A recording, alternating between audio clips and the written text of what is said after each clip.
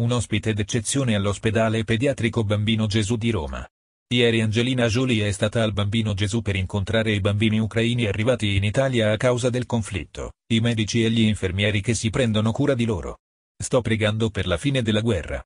Questo è l'unico modo per fermare la sofferenza e la fuga dalle zone del conflitto ha detto l'attrice 46enne, è orribile vedere bambini che ne pagano il prezzo, in vite perse, salute danneggiata e traumi.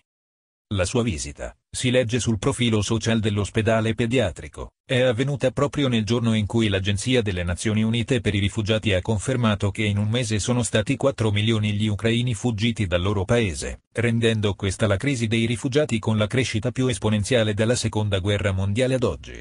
Altri 6,5 milioni di persone sono state sfollate all'interno del paese. Grazie per essere passata a trovarci, è il commento dell'ospedale. Se il video è stato di vostro gradimento lasciate un commento e iscrivetevi al canale per altri episodi.